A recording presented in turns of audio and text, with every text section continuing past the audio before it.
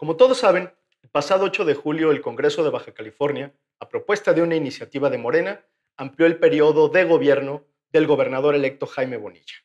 Los ciudadanos bajacalifornianos votaron por un gobernador de dos años y después los diputados decidieron que se quedara en el cargo otros tres, o sea, un total de cinco años.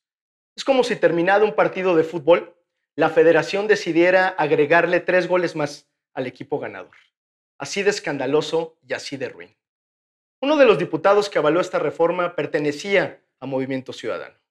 Al día siguiente de la votación, tomé la decisión de pedir su expulsión, pues votó contra nuestros principios, ideales y documentos básicos, así como contra el pueblo de Baja California. Desde ese momento hemos puesto el ejemplo y lo vamos a seguir haciendo. Ese mismo día también anuncié que Movimiento Ciudadano promovería una acción de inconstitucionalidad ante la Suprema Corte de Justicia de la Nación.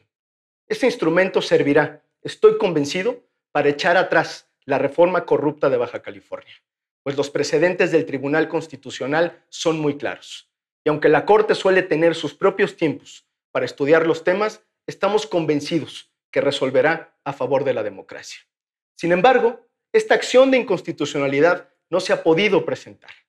¿Cuál es la razón? Es que el gobernador del estado de Baja California, Kiko Vega, no ha publicado la reforma en el diario oficial del estado. Valga recordar que estos recursos legales solamente pueden presentarse hasta que la reforma se encuentra debidamente promulgada. Por eso vale la pena preguntarnos, ¿qué pretenden quienes de forma mafiosa han hecho esta maniobra?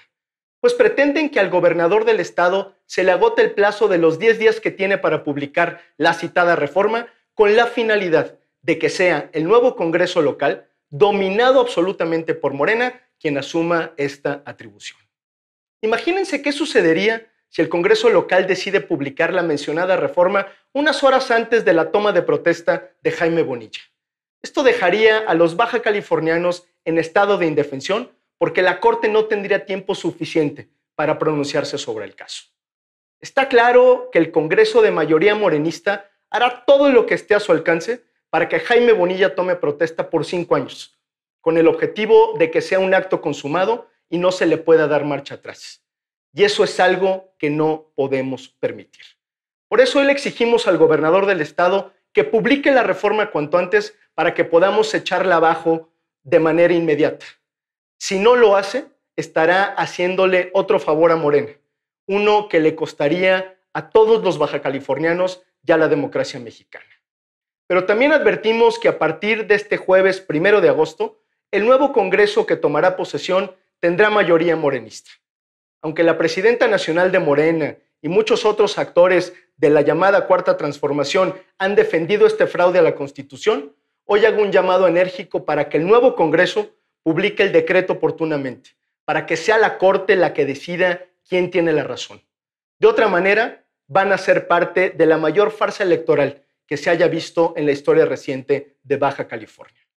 El presidente de la República, que se niega a hablar de Baja California por ser un asunto local, y a sus compañeros de partido que les entusiasma tanto hablar de la historia y de los héroes que inspiran su lucha, les decimos, particularmente al señor presidente, no olvide a Madero, no olvide su lucha por una democracia verdadera, no olvide que a este país le ha costado millones de vidas el lema del sufragio efectivo y la no reelección. Por eso hoy, frente a la situación de Baja California, reivindicamos el lema maderista y decimos sufragio efectivo, no a la ampliación. Nosotros no lo olvidamos. Esos ideales tienen que prevalecer sobre cualquier intento de torcer o minar las instituciones democráticas.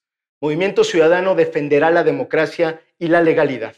Solo así honraremos nuestra historia y solo así podemos construir un futuro justo para todos.